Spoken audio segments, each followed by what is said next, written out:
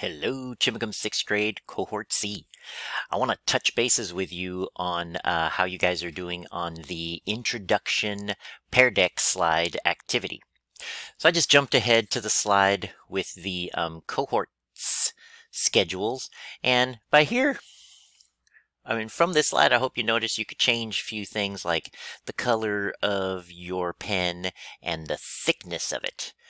And you can also use a highlighter, text tool, line tool, and erase.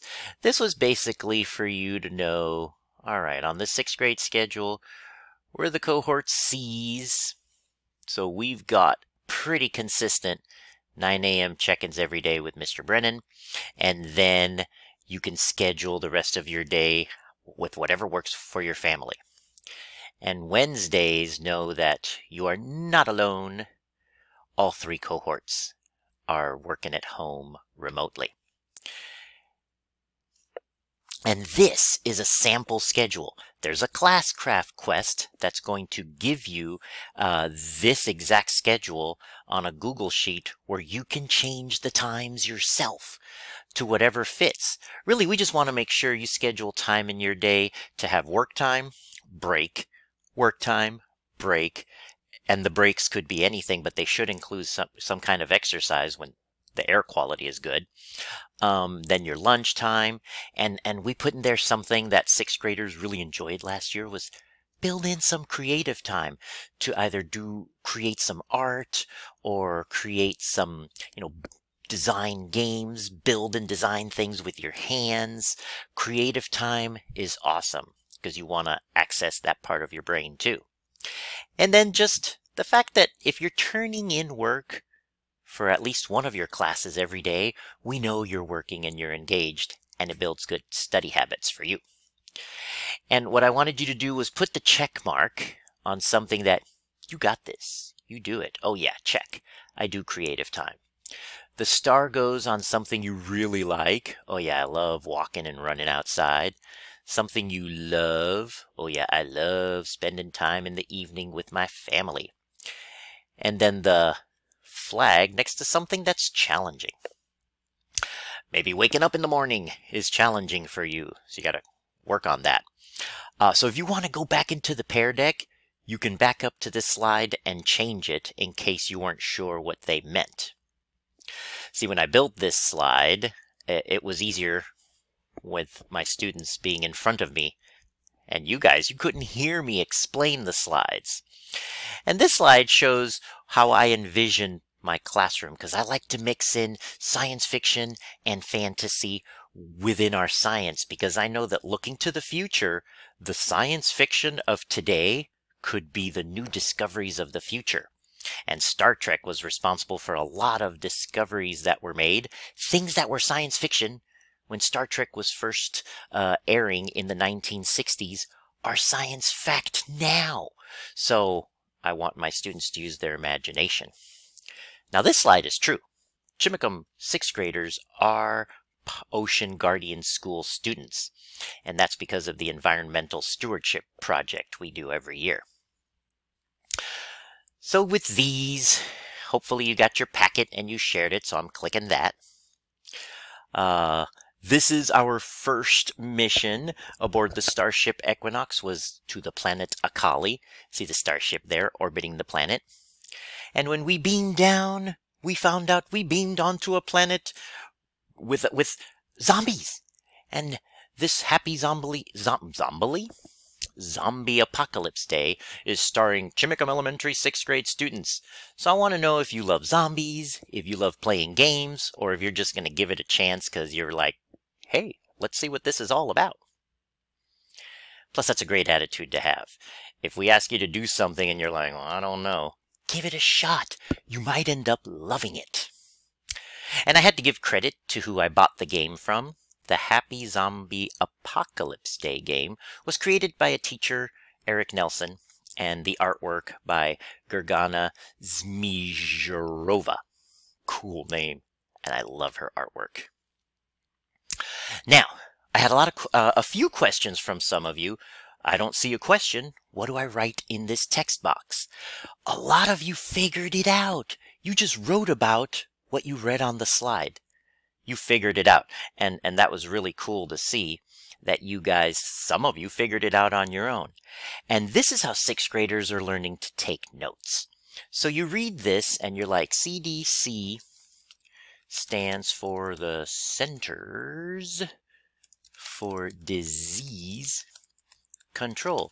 And they help keep Americans, Americans healthy and safe from diseases.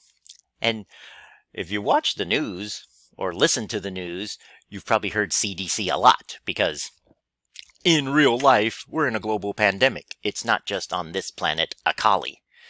It's kind of weird how we're playing a zombie game about a global pandemic on a faraway planet, and we've got our own. Luckily, people don't turn to zombies. We can cure this one. Now this slide had a bunch of questions, so this one was probably easy for you. And the zombies we're focusing on in this game are the ones who become zombies from infectious pathogens. So you can write about how zombies become zombies in the movies. In case you're not familiar with zombies, if you're playing a game about zombies, it helps to learn about them and then share your opinions on do zombies or the infected with a zombie virus have human rights? And I'm curious. I want to see what you think. Now, this next one was a perfect video. I hope you saw it because I found a video of a Star Trek animated show where somebody brought a zombie virus back to their ship this is what we want to avoid on our Equinox starship. So we're staying on the planet. And then this video explained classcraft. And this one was the rules that we follow, especially for those of you at home. And you could just check them off saying, oh yeah, I got these rules. I do them all the time. And I'm familiar with them because I've been in school for many, many years. At least since kindergarten, right? Maybe even preschool. And here's where I mix the fantasy of Classcraft with the science fiction of Star Trek. Those of you who picked Guardians, you're like the Star Trek commanding officers. So you're kind of in charge of your teammates when you're doing group projects.